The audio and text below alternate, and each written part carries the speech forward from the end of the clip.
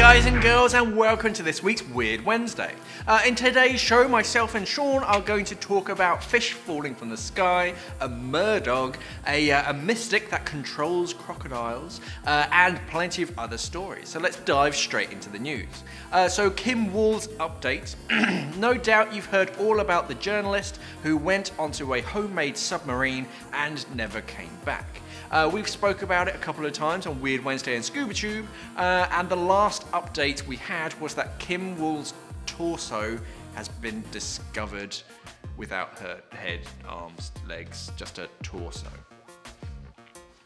Uh, on Friday, a team of divers set off to try and find the rest of Kim's body, uh, and they did. Um, good news, I suppose. We found, yeah, I mean, yeah. They're, they're, yeah, they're, they're, they're closing in on the case. They're, they're finding all the bits, all the evidence. All the bits. all the bits. Yeah. Um, they found they, they found her head, arms, and legs in a weighted plastic bag uh, with a with a knife. So. Yeah. Uh, on close examination to the head, there wasn't any damage or fractures, uh, which goes against what the um, the Peter Madsen said. Um, didn't she? He said that she banged her head on something on, and she, she was unconscious or she died. Yeah, Um, something like that. his story's really sketchy and Well, it keeps it's changed changing. about 20 times, isn't it? Uh, so Peter, by the way, was the last person to see Kim alive, allegedly. Um, so they're now finding out what really killed Kim. It, it was Peter, straight up. It was not. well, He, she tripped. It's like the- fell into a bag that had knives, got her head cut off, and her arms and her legs. it's like the worst episode of Poirot. It's just two people on a submarine out in the ocean. One of them dies, one comes back. Yeah. So who's the killer? It was the fish. Anyway, something else about fish. Mark. uh-huh. Did you know fish love Monster Energy? They do. So Dan was out fishing on a fishing trip with his dad. After a couple of hours, he was getting rather annoyed that he hadn't even got one nibble from the fish. Uh, they stopped off for lunch, and Dan thought to himself, maybe he can use his leftovers of his lunch to attract some fish. As you do. Yeah, because bait never works. No, no, don't need worms. They love cheese sandwiches. anyway, his dad handed him a wobble. I don't know what that is. A wobbler. A I think wobbler. uh, some kind of I'm not a fisherman, Bait. so cool. Yeah, so wobble thing. something that Um, wobbles. Or a weevil wobble that doesn't fall down. Okay. Anyway, so yeah, uh, his dad handed him a wobbler, and uh, Dan ma- actually managed to make a new one out of his pink Monster Energy drink. Not thinking much into it, Dad set the line, and that was it. Well, that was until 15 minutes later, and uh, things went a, went a little crazy for him. He was catching fish after fish. Do you think Dan is sponsored by Monster Energy? No, not at all, not at all. And they're trying to get into a new market. Fishermen. Fishermen. Drink our drinks. Yeah, drink our drinks for extreme fishing, but the fish love it as well. but yeah, anyway, after the weekend fishing trip uh, was over, he, uh, his, finish, his fishing group, uh, uh, I'm coughing, sorry, uh, you know, went from catching nothing to actually coming back with 30 fish. All thanks to Monster Energy. Not sponsored by Monster Energy. Yeah, Monster Simply. Scuba is not sponsored by Simply uh, by Monster Energy drinks. we do not condone this behaviour in any way. No. Yeah, well, it's good to know that they like, like I suppose it's different for them. Although surely as soon as you throw it in, it would just dissipate. I don't know, I'm not a fish. I don't know. Did he turn? What did he do? Did he soak it in Monster, or did he just turn the can into? I figure if he used a bit of the can as something shiny, maybe that would attract the fish. Uh, bull sharks love GoPros. Cool. Um, so now, Shaun, have you ever dreamt about being eaten by a shark? Oh my god, yes, every day. every day. I love it. You love your job so much. Yeah. You dream about getting Eat eaten me, by a shark. eat me shark. Uh, so, well, if you've ever dreamt about it, then this is the video for you. Uh, Raymond Pascoe was on a fishing trip off Queensland, uh, and whilst he was sorting through the day's catches and throwing leftovers overboard, as you do, uh, he placed his GoPro into the water.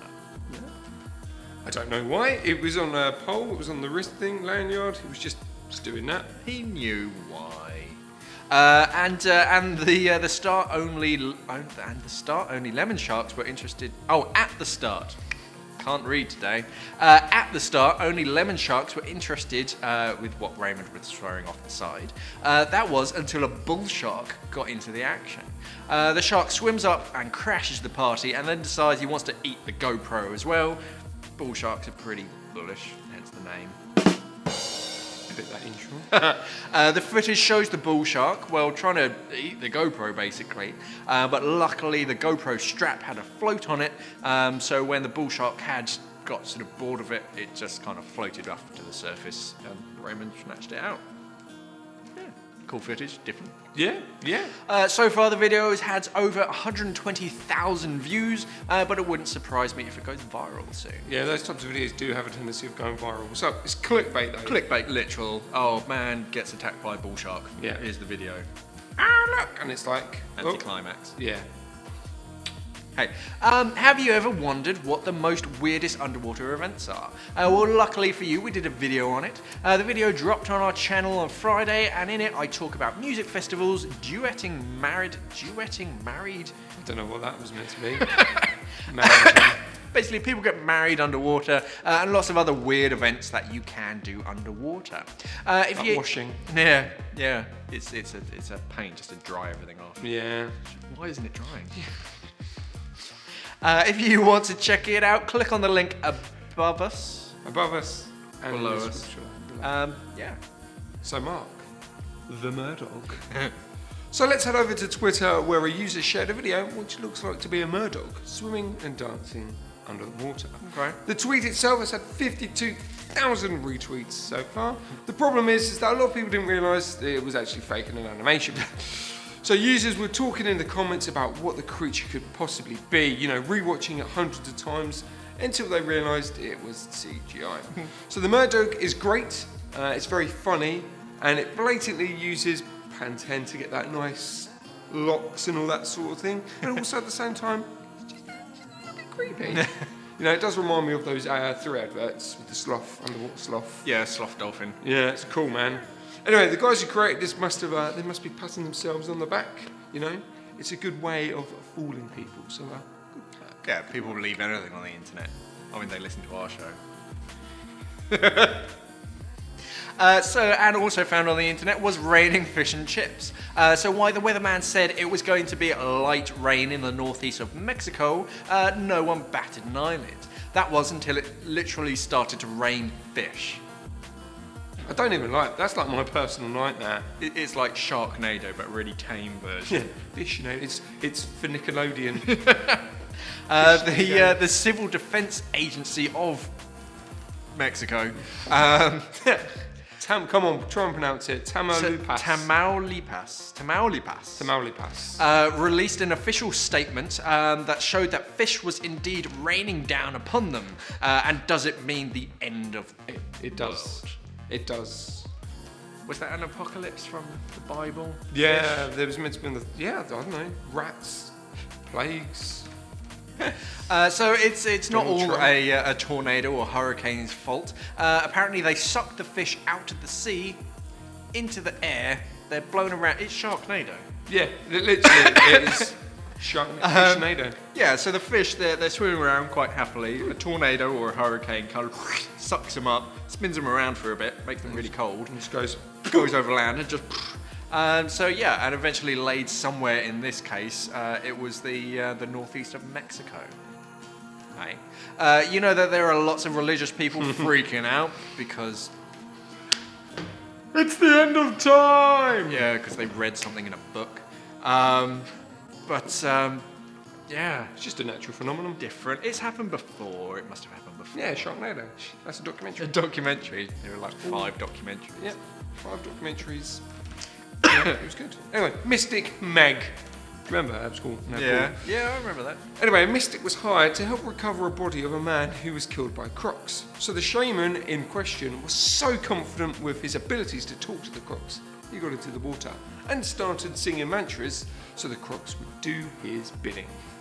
He must have been singing from the wrong page though, because the croc came up and dragged him under the water to his death. It's an easy meal. Yeah. well, thanks, mate. I don't really like your singing. It's annoying me. So uh, there you go. But by the looks of things, the croc just dragged him underwater until he ran out of oxygen and then let him go, so didn't even eat him. Oh. So literally was like, you're dead. There you go. So his body was found two days later, along with the other body that the mystic was hired to find. He did his job. Yeah, so so so Yeah. technically he did his job, but it cost him his life. Yeah. Yeah. Why? Why would you? Oh, oh yeah, mate. I can talk to Croc. It's all right, mate. I've got this. I've got this. I've got this. What's this talking on my wall? Oh well. Uh, ghosts are real. Cheers. Bye. Proof. Uh, British diver Darren Harris captured undeniable proof that there is life after death uh, during a dive in Hurghada. Uh, so, testing out his iPhone 5S. Give me the time. Um, They're on ten soon. Come on. he uh, he basically he got a new waterproof case and he was testing it out just to see. Um, yeah, testing out his iPhone in this waterproof case. Uh, in the water, he took a picture of a buddy pair swimming towards him uh, with a spooky skeleton hanging above them in their bubble trail. He uh, apparently he didn't notice the apparition until after he got home and downloaded the pictures onto his computer. Put it on Um, Photoshop. Did some work. did some moving around. Um, he later added that if he had noticed the figure, he would have been, quote, too scared to do anything and may not have even flown home. It's a, it's a good way to just elongate your Egypt holiday. Yes, oh no, I'm too scared. I must go back to diving. oh no. I can't fly back home. Oh no, but I can get in the water and dive because I've got to find the ghost. Yeah. Ghost. Uh, you wouldn't have noticed it because, like, a split second later, the bubbles would have just changed shape again. He was just a very fortunate that he took that picture at that time and had good Photoshop skills. Uh, and on that note, we will end the show. Uh, thanks for watching, guys, and safe diving. Bye.